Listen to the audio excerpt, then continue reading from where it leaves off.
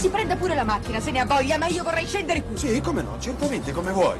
Ma quando verrai a sapere quello che sento, quando mi perdonerai e non mi serberai più rancore, perché io ti amo alla follia. Non mi importa niente, mi lasci in pace. Sì, quando mi perdonerai.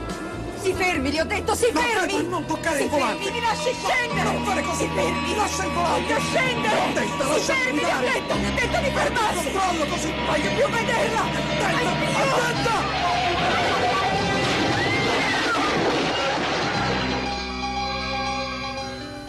Ecco, ti amerò sempre. Perché tu sei un qualcosa di troppo diverso. Perdonami, amore mio.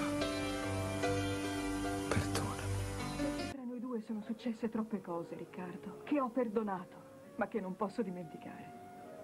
Ma non riesci a capire che è successo tutto solo perché ti amo.